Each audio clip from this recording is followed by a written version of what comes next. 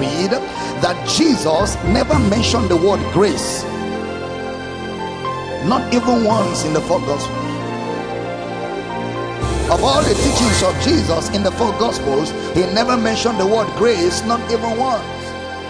Of all of Jesus' teaching in Matthew, Mark, Luke, and John, you will never find anywhere he mentioned the word grace. And the reason why we're taking time to x-ray the four gospels is to establish that the four gospels must be read carefully.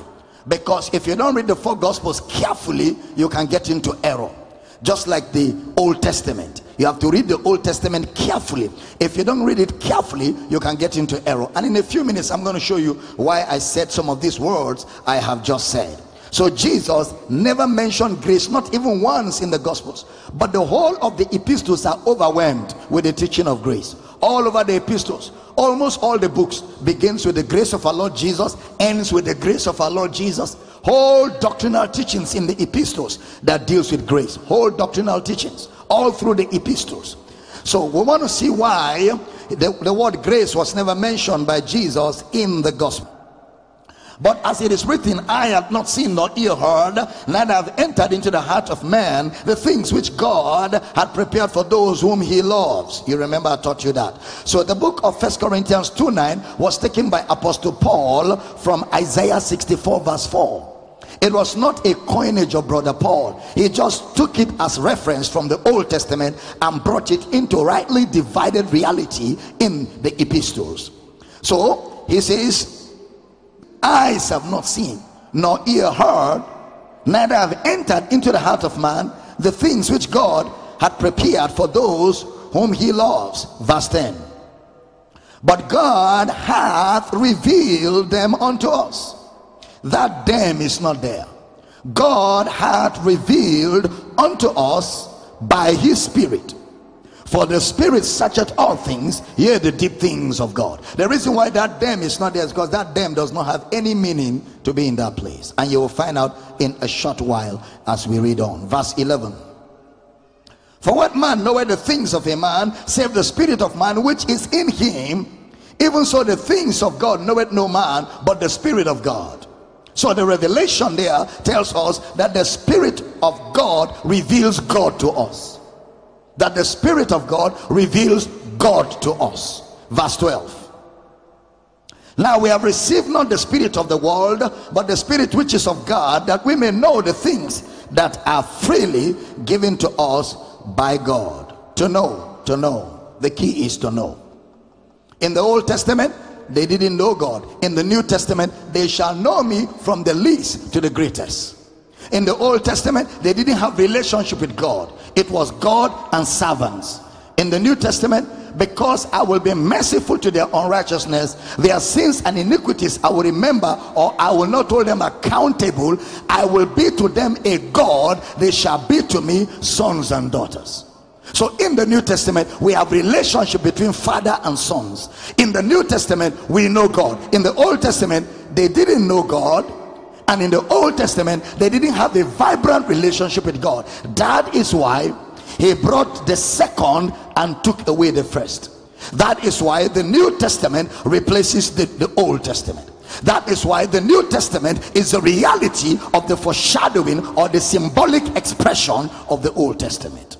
So, two key, two very fundamental things. Number one, relationship with God. Number two, the revelation of God. That we may know that we may know the deep things of God. Meaning that there are no more mysteries about God. Every mystery about God has been demystified in the New Testament. We know God. I thought somebody would shout, I know God. Can I hear you shout it very loud? I know God. All right, please follow me very patiently. Verse 13. Which things also we speak not in the words which man's wisdom teacheth, but which the Holy Ghost teacheth, comparing spiritual things with spiritual. But the natural man receiveth not the things of the Spirit of God, for they are foolishness unto him, neither can he know them because they are spiritually discerned. The natural man can't know, but we know. So the new covenant is the ministration of the Spirit. The Old Testament is the ministration of death. Please don't forget these two words The new covenant is a ministry of the spirit. The Old Testament is a ministry of death or a ministration of death. The later killeth, the spirit giveth life. The Old Testament, the ministry of death, the law of the spirit of the law of sin and death. The New Testament, the ministry of the spirit, the law of the spirit of life in Christ Jesus has set me free from the law of sin and death. Please, very important. Very, very important. Now, but Jesus functioned under the Old Testament at the closing stages of it. Under the four Gospels, Jesus functioned under the Old Testament. Matthew, Mark, Luke, and John are a they are transitional books but the events happened under the Old Testament. Matthew, Mark, Luke, and John are historical accounts of the incarnate Christ when he functioned under the Old Testament. So that is why in the epistles you will not see the apostles making reference to the teachings of Christ. You won't see that. Why were they not making reference to the teachings of Jesus in the epistles? We just read about two or three places where the apostles referred to just a few sentences that Jesus spoke when he was on earth. You will think that in the New Testament, in the book of Acts, and all the churches at Ephesus, Galatia, Rome, the churches in Thessalonica, the churches in Philippi, you will think that all of those churches, every teaching that will be there was what Jesus taught in the Gospels. But when you read, you won't find any of Jesus' teachings in the Gospels written or sent or ministered or taught to any of the New Testament churches. Why? Because Jesus himself placed a disclaimer on his teachings in the Gospels. And we shall find out why. But let's see the disclaimer. John 16 12. I have yet many things to say unto you, but you cannot bear them now. Hmm. You cannot bear them now. When he said, I have yet many things, what he's saying is, the things that I have not said to you are much, much more than what I have told you. Now, this was the last public teaching ministry of Jesus after spending all his time on earth. The last day he's doing a public seminar. He now says, Everything I wanted to say, I have not said. The greater part of my teachings I have not taught you. Many things I will have said, but you cannot handle it. Every time I want to bring what I want to say to you, you lack the capacity to take it. So I have not said what I want to say.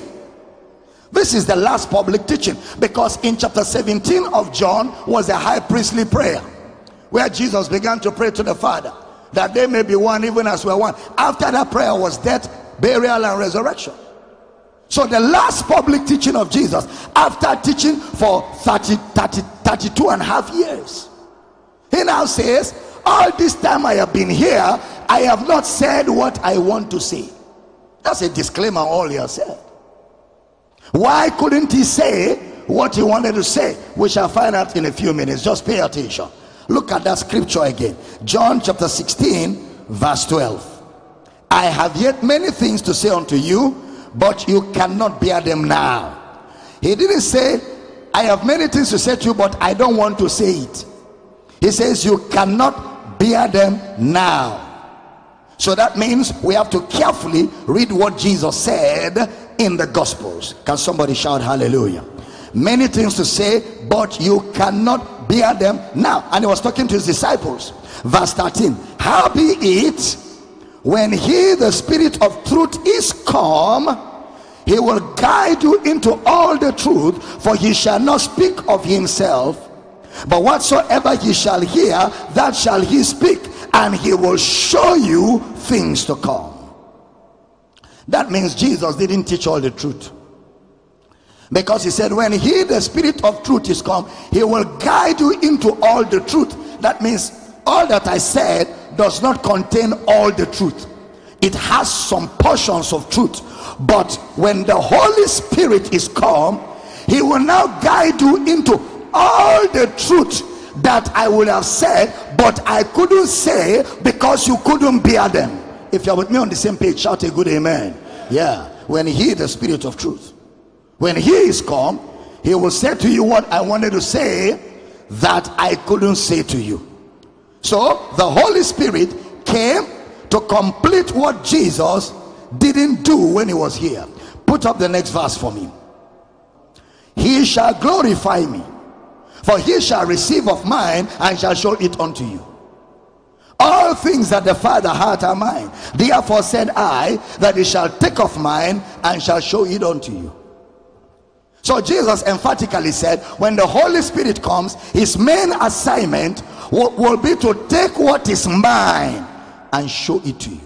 That means what I would have told you, but you cannot bear it. When he, the Holy Spirit, is come, he will take what I will have told you and he will still tell you.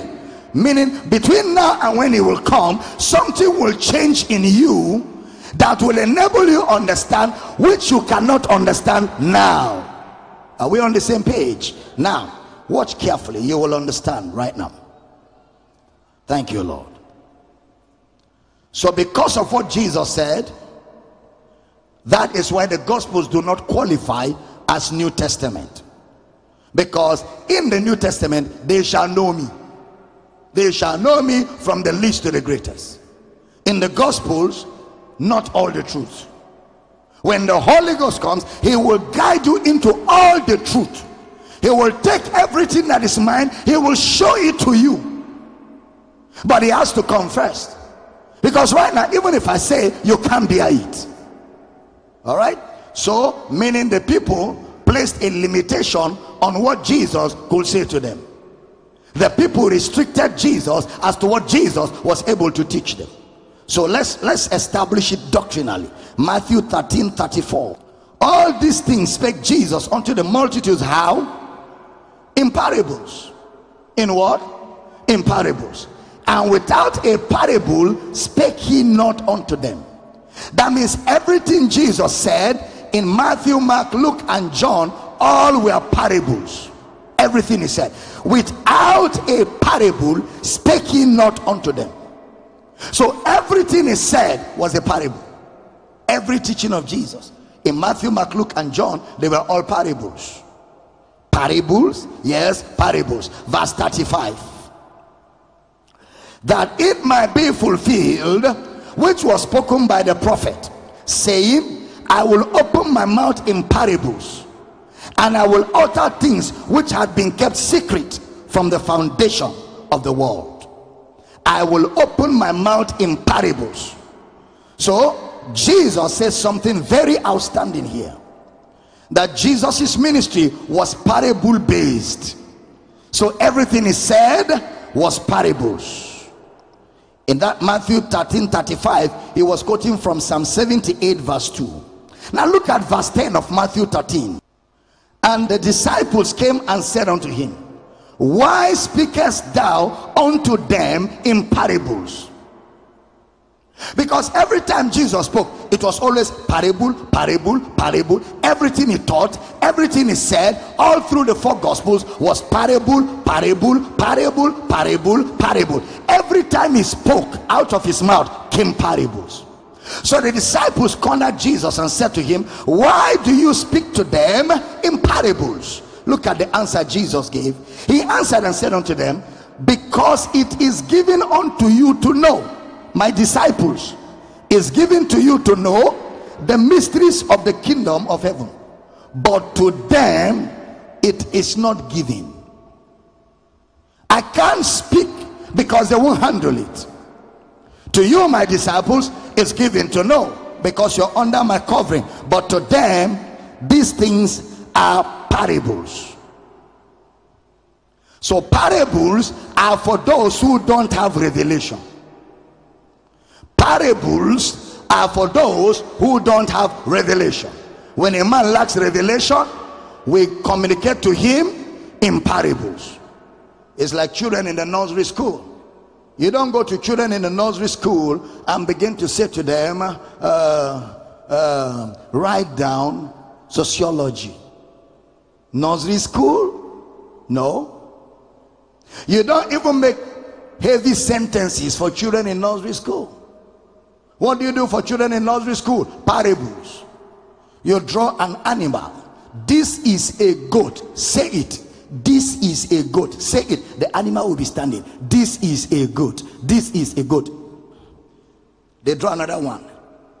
This is popo. Pawpaw. So they will see pawpaw and pawpaw. See the picture. You can't tell children, write down a goat is an animal. No, they won't handle it. They will just be looking at you. They lack capacity for that kind of sentence. Teaching good.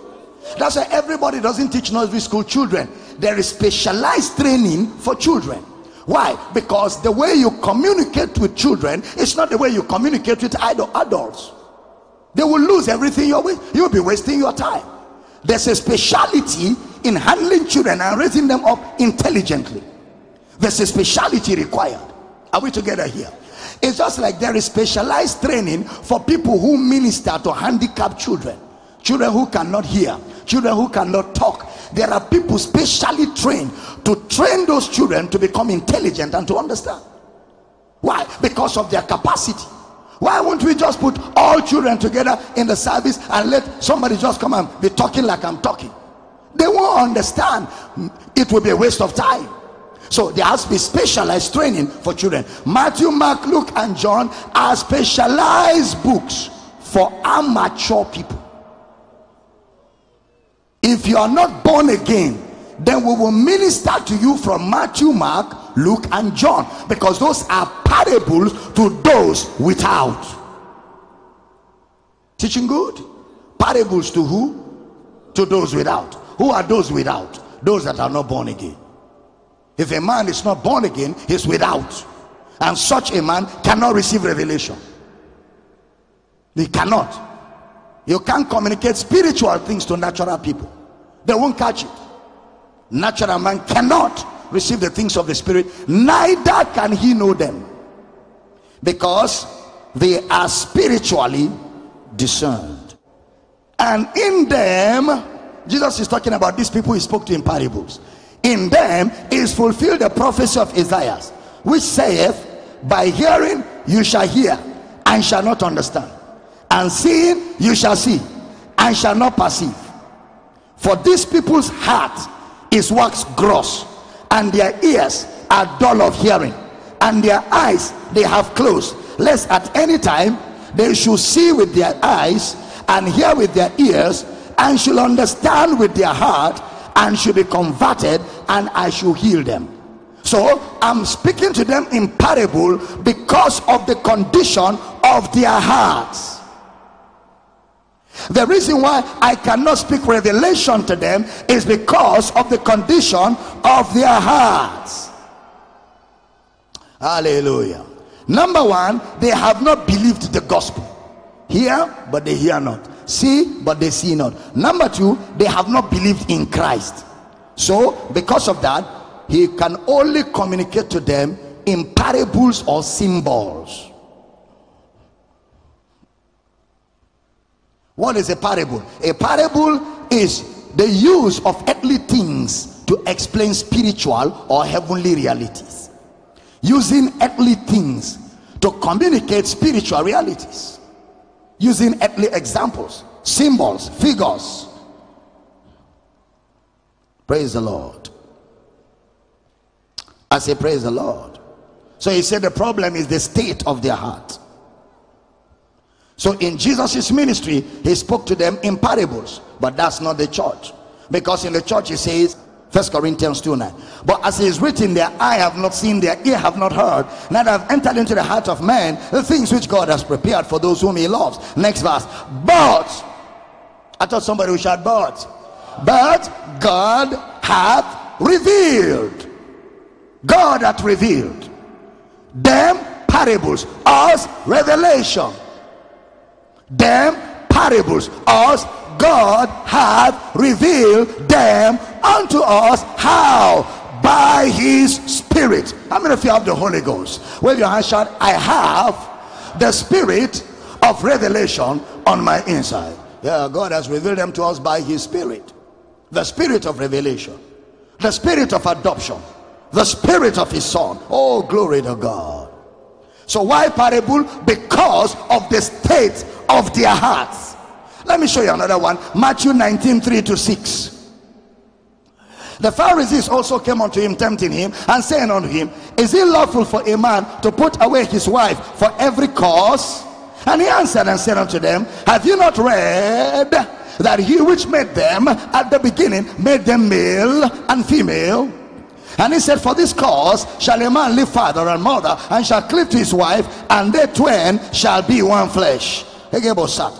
Wherefore they are no more twain but one flesh. What therefore God had joined together, let no man put asunder. Next verse. They say unto him, Why did Moses then command to give a writing of divorcement and to put her away? Watch the answer. Watch the answer. He said unto them, Moses because of the hardness of your hearts suffered you to put away your wives but from the beginning it was not so. So the law was given because of the condition of men's hearts. So jesus spoke parables because of the condition of the hearts of his hearers. These were natural men. These were people without. These were people that were not ready to believe him or believe what he has to say. But we, we are not ordinary men. We are regenerated by the Holy Spirit. So because we have the Holy Spirit, what Jesus couldn't tell them, he has told us by his spirit in the epistles. Please, if you're following, shout, I hear you. They couldn't handle it because of the hardness of their hearts. It's not the communication that made their hearts like that. It is their hearts that made the communication like that. In Luke chapter 8, verse 10, and he said unto them, Unto you it is given to know the mysteries of the kingdom of God, but to others in parables, that seeing they might see, and hearing they might not understand. So, kabaya, they see by seeing, but they will not understand. Why will they not understand? Because they are not part of the kingdom. So now, Matthew 13 14. And in them is fulfilled the prophecy of Isaiah, which said, By hearing you shall hear and shall not understand, seeing you shall see and shall not perceive. So, parables expose the condition of men's hearts the parables are to expose the conditions of men's hearts. But if you observe carefully, one of the writers didn't use much parables. His name was John. John didn't use much parables. Why? Because John wrote the book of John close to Revelation. So while Matthew, Mark, and Luke were busy talking about a virgin and a boyfriend called Joseph who were trying to get married and the virgin got pregnant.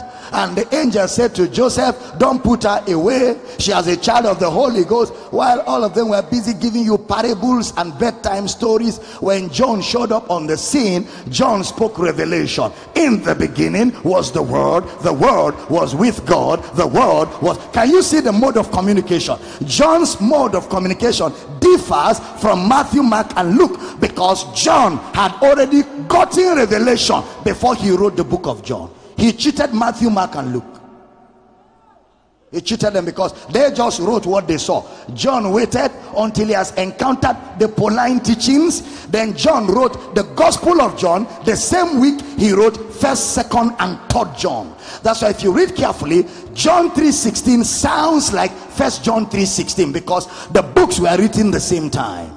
So John wrote when he has gotten revelation. That's why the mode of communication differed. It's in John you will see, I am come that you may have life. It's in John you will see, I give unto you eternal life. No man can pluck you out of my hand. My Father that gave you to me is greater than all, and no man can pluck you out of my Father's hand. All that was John. You will see John say, In the world you shall have tribulation, but be of good cheer I have overcome the world. All those were Pauline, um, they were they were John's revelations written in the gospels, before it took effect in the epistles because John wrote John after he has acquired revelation. So when people, when the heart of men have not received Christ, we use parables. When people have received Christ, we bring revelation.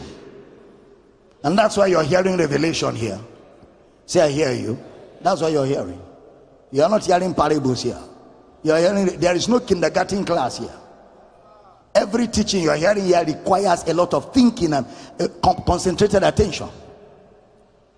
You're not hearing, this is a dog. Everybody repeat, this is a dog. You're not hearing that. What you're hearing here are the deep things of God as revealed by the Holy Ghost. If you're with me on the same page, shout a powerful amen.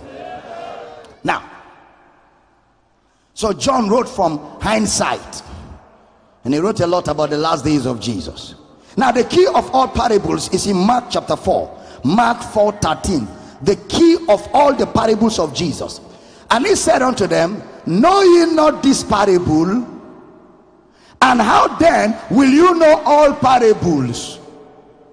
If you don't know this one, how will you know all the parables? That means this parable is the key to all the parables of Jesus. What is this parable? Verse 14. The sower soweth the word. That's the key to all parables. The sower soweth the word. So the parable explains situations around the world. That's why in that parable of the sower, some fell by the wayside, some fell among thorns, some fell on stony ground, and some fell on good ground. Conditions around people's hearts when they hear the gospel.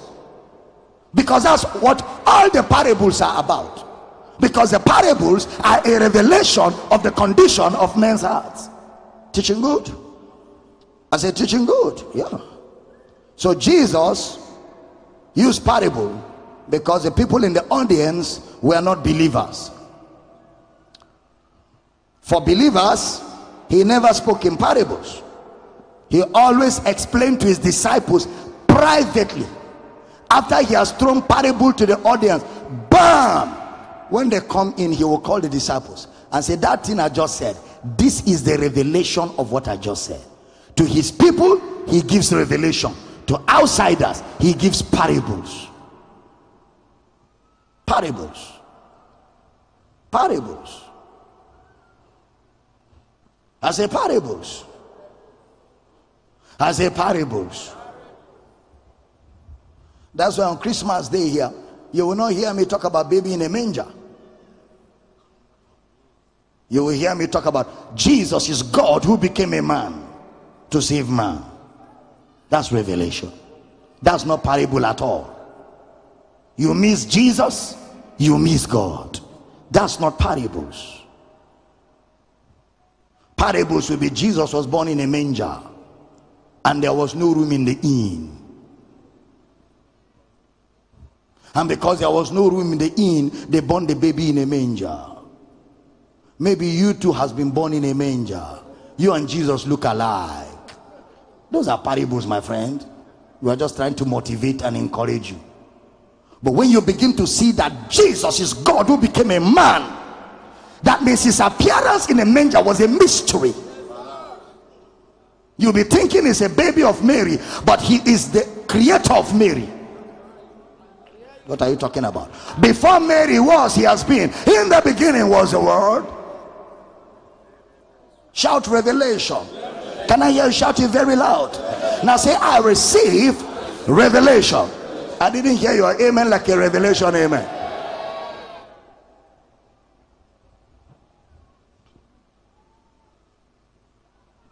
Parables and revelation. So Jesus explains to us the meaning of all the parables. So again, like I said, it is not safe to teach purely from the parables of Jesus because those parables were, were communicated to people who didn't believe in Christ and then they were revealed to believers in Christ. Praise the Lord. For example, one of the parables that the church world has celebrated over the years, the church world now. One of the parables is what the church world calls Operation Push. You know, push? P U S H. You know the meaning of push? Pray until something happens. Now, there's nothing wrong with pray until something happens. What is wrong with pray until something happens is where the inspiration was derived from. That's what is wrong. Where did the church world get pray until something happens? From one of the parables. Who are parables communicated to? People who don't believe in Jesus. It's in Luke 18 1 if you have a good Bible. That's why the church world God pray until something happens. Operation Push, Luke 18 1. And he spake a parable unto them. Somebody say parable. To this end, that men ought always to pray and not to faint. Okay? There was in a city a judge. Somebody shall story story. Okay. There was in a city a judge. Eh? Are you enjoying the story time? Which feared not God neither regarded man. There was a widow in that city, and she came unto him, saying, Avenge me of my adversary. And he will not for a while, but afterward he said within himself, Though I fear not God, nor regard man, yet because this widow troubleth me, I will avenge her, lest by her continual coming she weary me. And the Lord said, hear what the unjust judge saith. Look at contrast. Somebody say contrast. The book of luke is a book of contrast. Look at contrast. And shall not god avenge his own elect which cry day and night unto him though he be along with them? So when people read this they conclude just like the woman troubled the king and the king could not rest until the king gave her something. Fire god let god not rest Today, today, today, today, Jesus must answer me today, today. Have you been in that kind of church before? Today, today, today, today, Jesus must answer me today. Who is fighting with Jesus answering you? Pray until something happens. You hear prayers like, I will not leave you until you bless me. Hold God's leg people will pray and gyrate after all the prayer. Nothing is happening. Why? Ignorance. My people are destroyed. Why do you think you have to harass god for god to answer you? Because they said from a parable all that is taken from a parable bedtime story. But if you study the parable because in every parable there's a story there are fictions and there's a lesson. There are facts there are fictions and there's a lesson. Instead of pursuing the lesson we get fascinated with the facts. We get fascinated with the fiction. Nollywood. You know nollywood?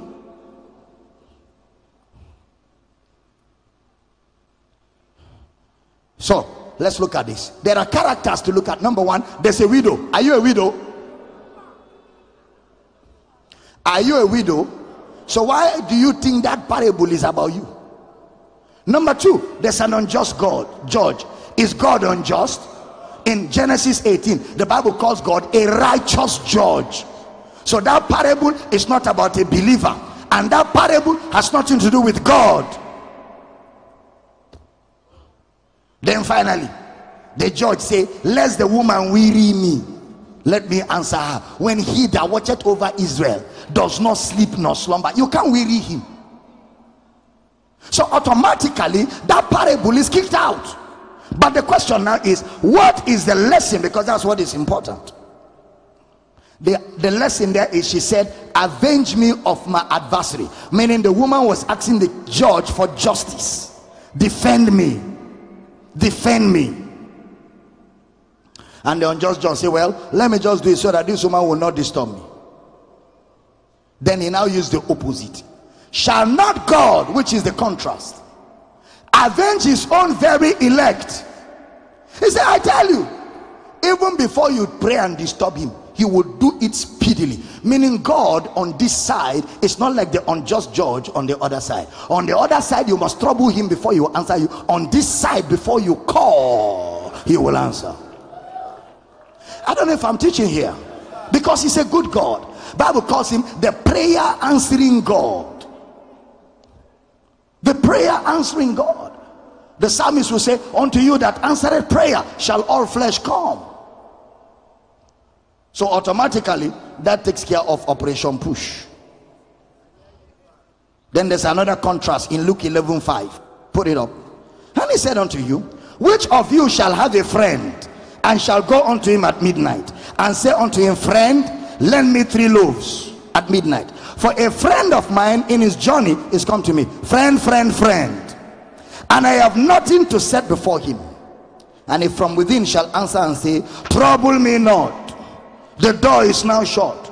And my children are with me in bed. I cannot rise and give thee. I say unto you look at the contrast. Though he will not rise and give him because he is his friend yet because of his importunity he will rise and give him as many as he needed. Next verse. And i say unto you ask and it shall be given you.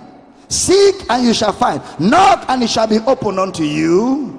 For everyone that asketh receiveth and he that seeketh findeth and to him that knocketh it shall be opened. Next verse. If a son shall ask bread of any of you that is a father will he give him a stone? Or if he asks a fish will he for a fish give him a serpent?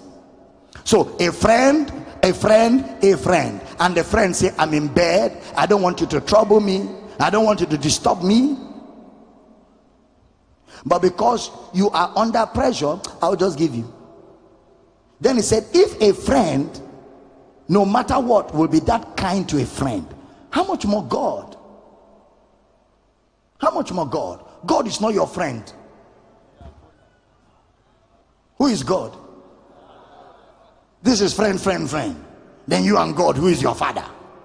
So the parables try to bring people to a place of understanding relationship, faith in God. The mission of the parables was to bring these unbelievers to a place of faith in God. Then in that Luke chapter 18, verse 8, you will see what Jesus said to them. Luke 18 8. I tell you that he will avenge them speedily. Nevertheless, when the Son of Man cometh, shall he find faith on the earth? What he was simply saying is that if the Son of Man reveals to people what he has done for them on the cross, will they have the confidence to believe it? Will they believe if God says you are righteous? Can you believe that you are righteous? Do you have faith in what Christ has done? Because his contrast he's dealing with. The parables are earthly illustrations used to try to communicate spiritual realities. And that faith on the earth does not even affect us. Because first of all faith has been given to us by the gospel. Romans 10 17 galatians 2 20 i live by the faith of the son of god. The believer does not need faith. The believer is in faith. Are you with me here if you're with me shout a good amen so a few things to think about religion says don't ask god questions Huh? Uh, and most times you will see religion in display when either somebody dies, somebody dies. Why? Why?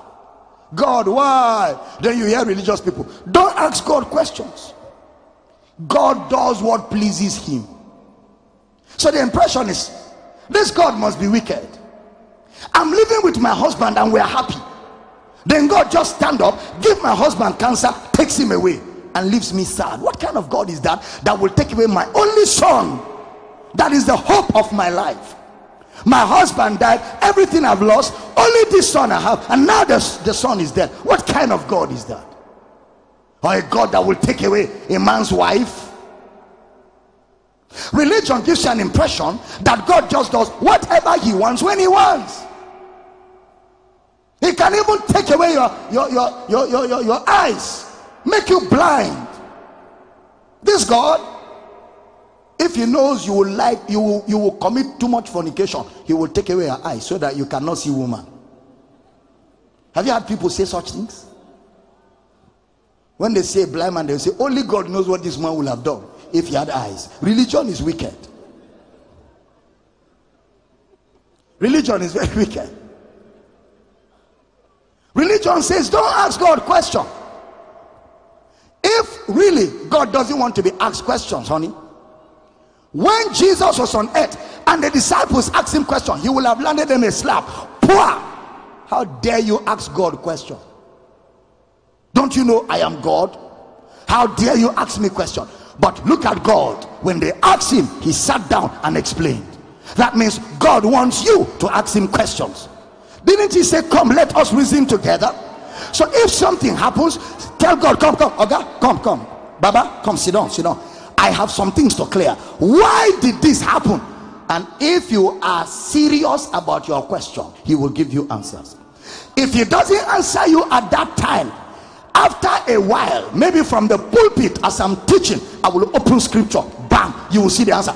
God wants to answer all your questions. Even now, as I'm teaching, some of your questions are getting answered. Is that true?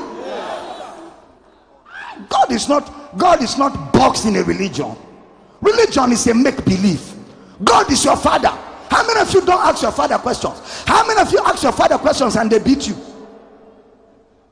No father will do that. No father. I remember years back when just when Jael, my little girl, well, she was in school, and then I, visited her in school with her mother, and then we were driving, and the girl just said to me, "Daddy," I said, "Yes, yes, baby. Why don't we have Superman powers?" I said, "What?" He said, "Why don't we have Superman powers?"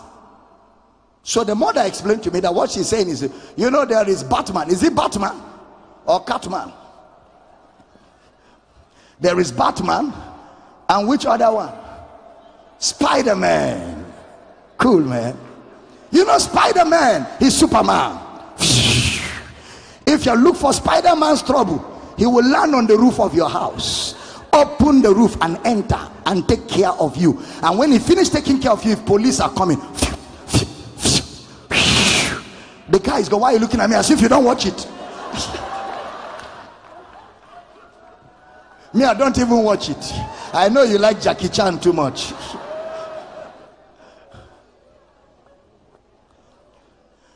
I didn't slap her. How dare you ask me question? No, no father behaves like that. God is your father. Immediately she asked me, I calm down because now I know there's an issue here. And if I don't settle this child, this child can be lured into magic. Because magicians have Superman operations. True or false? Have you seen magicians before? They will remove their neck, keep it on the ground, and walk with their neck. Magicians, then they will come back, carry the neck, and put back. You never see magic.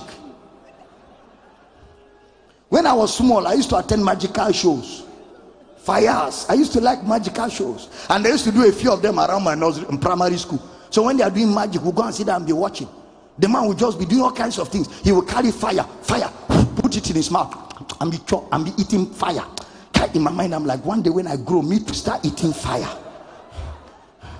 One day I got to my house and I wanted to eat fire. I taught the team because I have watched and watched and watched. I thought now I have the same power like the man to eat fire. When I touched the fire, the fire touched me. I took off.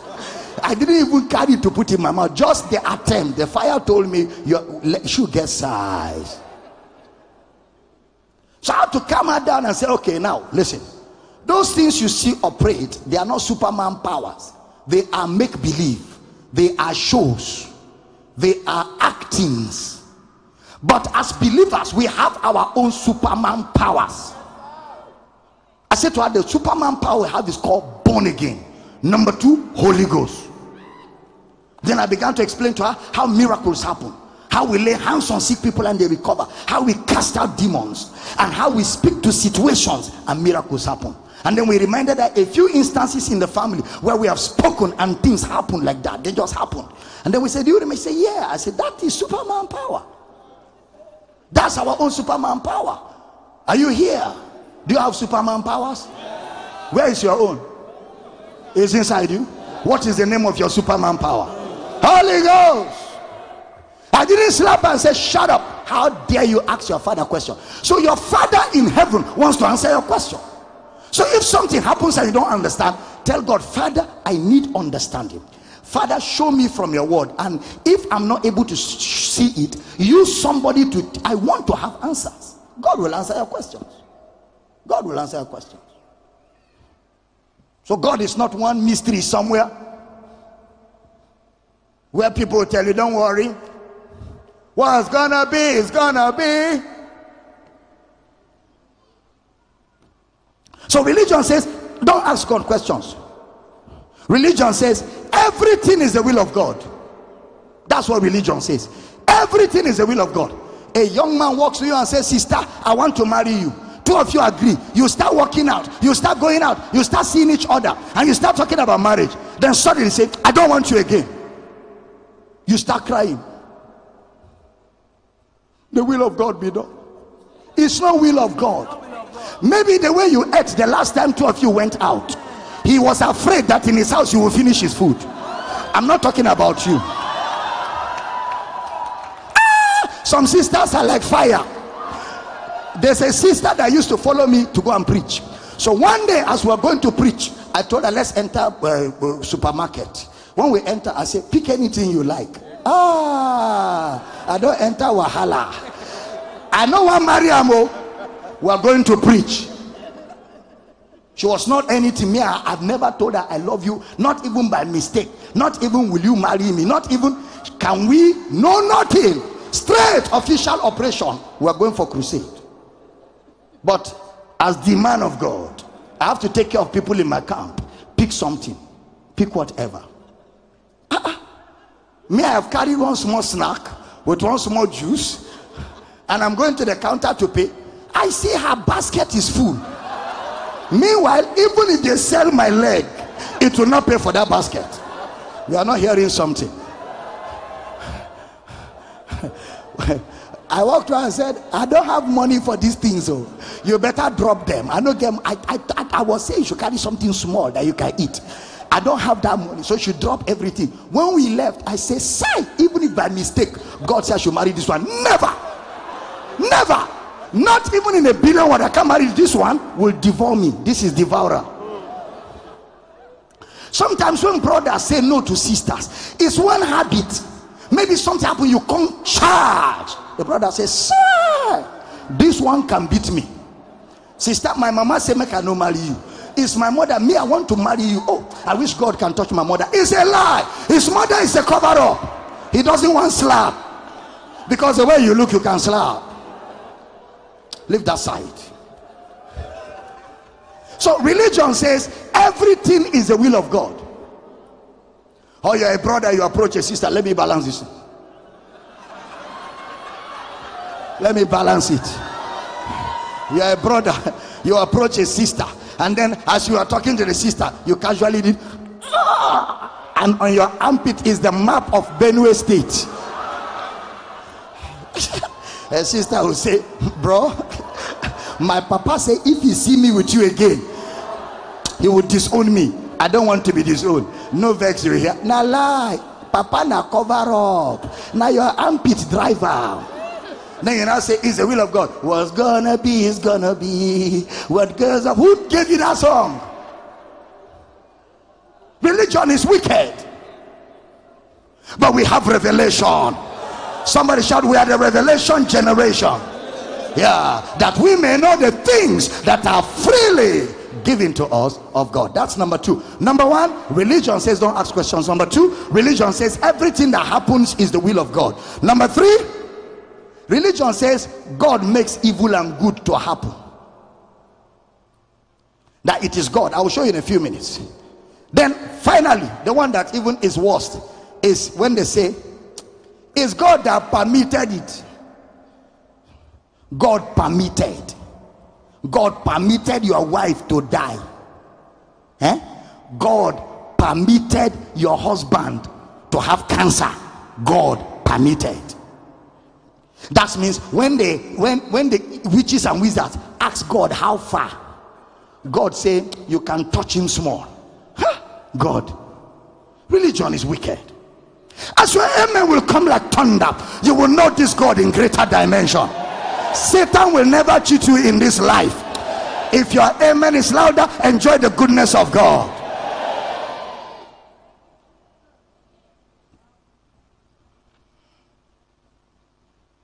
Now, pay attention as I begin to. Are you glad you came this afternoon? This is how to understand basically. In Romans 5:12, he now tells us something that will help us with this. Wherefore, as by one man sin by who? Talk to me, Power City. Who? One man. Sin entered into the world and death by sin. Where did death come from? From sin. Where did sin come from? From man. So, man, sin, death. Are we together here? Genesis 2:16. And the Lord God commanded the man, saying, Of every tree of the garden thou mayest freely eat, but of the tree of the knowledge of good and evil thou shalt not eat of it. For in the day that thou eatest thereof, thou shalt surely die. So God gives man a freedom to choose and then God says, That one kills. This one, if you eat, you have life. But the choice is yours. So man went and made the choice for death. God is not involved. God only points man to life and he warns man of death. But if man disobeys God and decides to go ahead and disobey and take what God told him had death, it's not God that gave him the death, it's his choice that brought death into his life. So you can't blame God for most, in fact, all the things that happens to people in this life. You can't blame God for why somebody is sick. You can't blame God for why did somebody die at the age of 15. You can't blame God. Choices, carelessness. You can't blame God for why a sister is not married. Carelessness, choices, illiteracy. What do I mean by illiteracy? Illiteracy.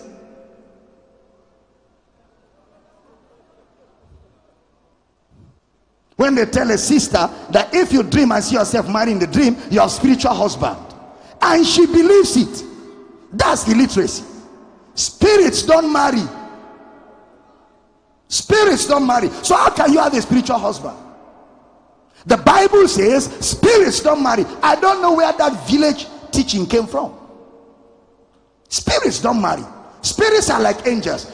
Demons and evil spirits are fallen angels. They are spiritual entities. Spirits don't marry. So how can you have a spiritual husband from where?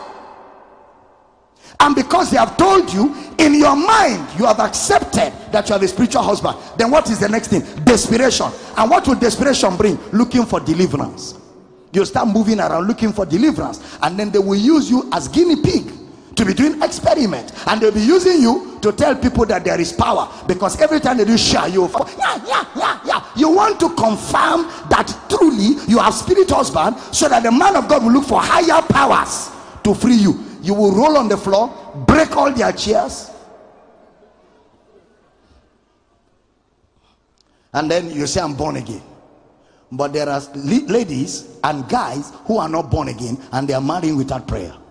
You, you are born again, but spirit husband stop you. Unbeliever that is not born again, spirit husband did not stop him. How are you thinking? Are you doing addition by subtraction? One, two, three, four, five. Then you come six. One, two, three, four, five, six, seven. You went forward five, you came back seven. Addition by subtraction.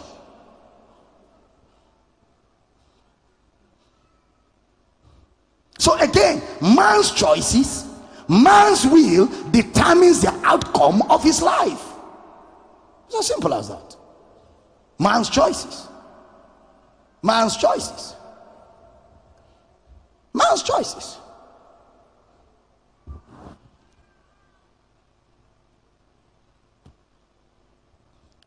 When I was growing up, the person I wanted to marry, some time back, I saw the person. And I was grateful I didn't marry her. Very grateful.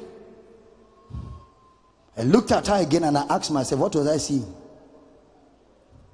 Thank you, Lord. So, some of you, when a sister says no, it's a miracle. And some of you, when a brother say, My father say is a miracle, because maybe you're too much for that person. Why are you looking at me like that? Teaching me the word of God. So I could have made the choice for somebody that wouldn't have been mama to marry me. Maybe me and that person now will have been in one village doing village evangelism.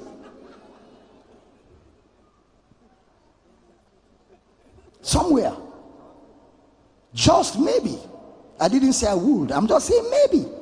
Because choices, whether whichever choice you make, will determine the outcome of your life. Anyhow, you make it. Teaching good. Maybe after I married, I should have said, Follow me to my village. I just want us to have a church in my village. I cannot survive city life. And because of too much trouble, I'll carry my box and follow her. And then we will do one ministry in the village. You, Power City, you won't have Papa. You say, no, wrong. will I be eating fresh fish and crayfish? I will not think of world evangelism. Why are you laughing like that? It's not me that said, now you talk to Glory to God. I prophesy to the first 500 of you whose amen will come like thunder. You are guided in your choices. You will make right choices. You will make right choices. Ah, you will make right choices. Some of you that have made wrong choices, mercy is rewriting your destiny, rewriting your story, and rewriting your situation. If your amen is louder, receive it by grace. See that, let me tell you something. There was one lady that used to come around our house. We will ask her to cook. Every food in the kitchen will finish. If she wants to cook all the Maggi, all the onions, everything will finish. One cooking. So I, I told my friend, I said, This girl is a devourer. And the Bible says, I will rebuke the devourer for your sake. That's how we banned her from coming to our house. We banned her. We said, Don't come again. God bless you. Because somebody like you will ruin somebody. You will move me to a poor man. Choices. Am I blessing somebody? The day you eat, you shall die. It's not God that said die. God just showed them something from a compassionate heart. And as a loving father, he's warning them of something that has a negative repercussion. And you can't blame God for that. He's already played his merciful part. If I'm teaching good, shout a good amen. I'm not hearing your amen, somebody. James 1:13. Look at it clearly. Let no man say when he's tempted, I'm tempted of God. Let no man, I love brother James, he clears it for us. Let no man say, when he is tempted, I'm tempted of God. For God cannot be tempted with evil, neither tempted he any man. Turn to your neighbor and say, God can never tempt you. Tell your neighbor, tell your neighbor, tell, say, neighbor, neighbor, God can never tempt you. God does not tempt. Then look at the next verse. He now tells us where temptation comes from. But every man is tempted when he is drawn away of his own lust and enticed. Next verse. Then when lust had conceived, it bringeth forth sin, and sin, when it is finished, bringeth forth death. So it begins with man's choice. Next verse says, Do not err, my beloved brethren. Don't get into error every good and perfect gift verse 17 cometh from above nothing bad from god only good things come from god god is not the source of evil god is not even the source of temptation he doesn't tempt anybody but good and perfect gifts they come from god hallelujah so temptation is a function of man's free will and sin is a function of man's desire. The tempter of sin is the devil. can't you see that even Satan came to tempt Jesus in the wilderness? He came to Jesus to tempt him so that you know who the tempter is. And that's the first time Satan is unveiled. The first unveiling of Satan was the temptation of Jesus. The first time we know who the tempter is. Because if Jesus is the tempter, Satan won't tempt him, he will tempt Satan. But because Satan is the tempter, Satan is even tempting God. So that establishes every temptation in life is from Satan. Because God can never tempt anybody. So this is the first time in Matthew chapter 4 that we see Satan unveiled in the temptation of Christ. That Satan is the source of all temptation. For the first time, he came to Jesus three times and he begins to cast aspersions on the world like he did to Eve. He was casting aspersions on, on the world. He said, It is also written. He was casting aspersions. And when you don't understand the word, you operate in darkness. When you don't understand the word of God, Satan will just take one little verse and use that verse to lock you up. You operate in darkness. Lack of understanding keeps you in darkness. And if you read the books of Moses, you will never see Moses mention Satan. Not even one. He mentions serpent, serpent, because he was ignorant. So in John 8 44, Jesus now unveils who the serpent was. You have your father, the devil, and the lust of your father you will do. He was a murderer from the beginning and abode not in the truth because there is no truth in him. When he speaketh a lie, he speaketh of his own, for he is a liar and the father of it. So Jesus unveils Satan to us in John 8 44 that Satan is the liar and Satan is the one responsible for evil in the book of Revelation, John the beloved calls Satan the dragon, the old serpent. The dragon, the old serpent. In Second Corinthians 11, Brother Paul will say, Lest the devil should tempt you like he tempted Eve. In the New Testament, the serpent is called Satan. Moses didn't know the difference. That's why the Old Testament is a progression of revelation. The epistles unveil Satan to us because the epistles reveal God to us. In James 4 7, he said, Your adversary, the devil, goeth about like a roaring lion. In First Peter chapter 5, verse 8, be sober, be vigilant, because your adversary, the devil, as a roaring lion, walketh about, seeking whom he may devour. Then look at the next verse. Whom resisted fast in the faith. Just a resistance will put the devil on the run. Hallelujah. So you won't find such statements in the Old Testament. You won't find because the Old Testament, the devil was not known. So the devil was hiding under cover and carrying out all manner of havocs and evil against people. But first John chapter 1, verse 5. Whoa! Somebody bless, shall bless. This then is the message. Somebody said we have a message. Mm. Not messages. This is the message which we have heard of him and declare unto you that God is light and in him is no darkness at all. So let me ask you who is behind cancer? Who is behind high blood pressure? Who is behind blocked tubes? Who is behind infertility? Who is behind death? So when you see a brother begin to go to the hospital, today the doctors will say, is this one. Tomorrow the doctors will say, is this one. Next tomorrow they will say, stop the medication, start this one. After tomorrow they say, stop this one. They are using you for experiment. Leave the doctors, enter the room, lock the door. Maluka to boloto. Beberike to nakata na menge. Resist the devil and he will what? Don't let the devil use you for experiment. You have authority. Say, I have authority. Say it very loud. Louder. Loudest. Loud, loudest. Somebody say, I have authority over Satan. Jesus' authority is my authority. Say, I resist the devil, he flees from me.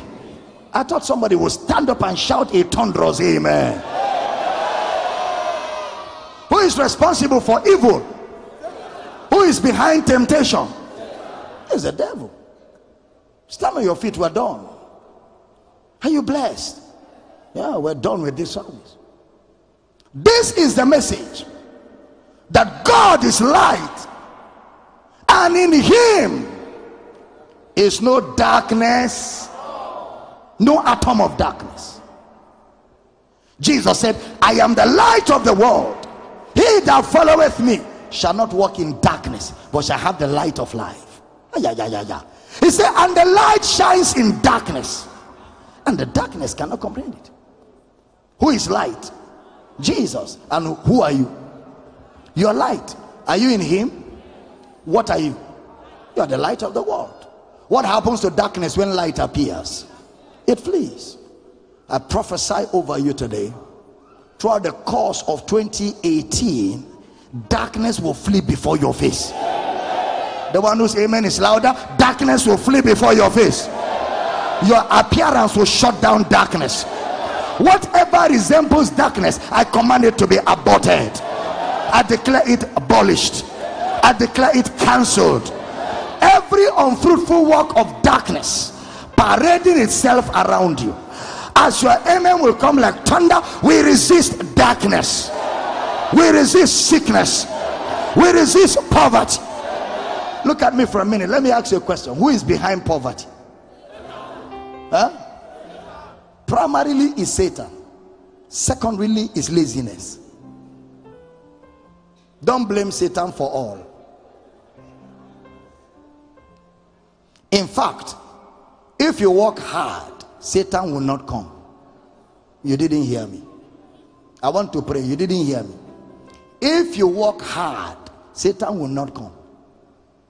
That's why unbelievers who don't have authority, who are given to work, they have money. Who understand the world system, they have money. Of course, Satan is a source of all evil, including poverty. But poverty only comes to a lazy man. That's what the Bible says. A little sleep, a little slumber, so shall your poverty, not our poverty. He says, So shall your poverty come with AK 47. he will come like an armed man. That means poverty will carry AK 47 and enter your house. Just a little sleep a little slumber. Instead of you to go and get some job somewhere and do, he said, No, you know, I read petroleum engineering. I can only work with Mobil or Shell, LNG. Outside that, I will not do anything. AK 47. Poverty will use it to come to your house. Yeah, you read for LNG and you read for petroleum. But how many petroleums are around? If you don't find refinery, what your hand it to do? Do it, my friend. It's not the job, it's the blessing. You can sell sand and be the richest man in Africa. Who am I talking to in this building? 2018, take charge of your world. I'm not telling you amen at thunder. I say take charge of your world. Possess your possession. Take over your inheritance. Somebody shout, I reject poverty. Say it three times with a holy anger. Two. Three. Say, I resist poverty. Say, every poverty character, I push it out of my house. I didn't hear your amen. You have a car and your family is starving, you two are starving. Do kabu kabu. Carry that Mercedes. Clean it. Itamanua. Itamanua. You know Itamanua? Where is Itam? There. Where is Anua? There. My brain is calculating. Enter that Mercedes. E class or C class or F class so that the C class will not become F9 class. Carry that Mercedes, put it on Itamanua. Itamanua. start driving. Before the day is over no matter what bad business at least you will go home with something. Your children will eat. You too will eat and you will pray with a smile. You know when people are hungry they pray with a frowning face. Father!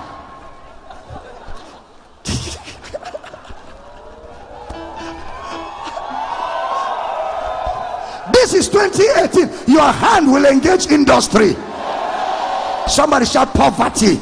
I resist you. In the name of jesus. There are brains in this church. There are brains. There are brains all over this place. I command opportunities to avail to you. I'm not hearing that amen. This year you will give to the poor. You will build houses. This year you will buy cars. This year you will travel abroad for business. If your amen is louder favor is calling your name favor is calling your name. Favor is calling your name. Favor is calling your name. Open your two hands. I command creativity in your hands. Receive creativity. Receive ideas. Receive concepts.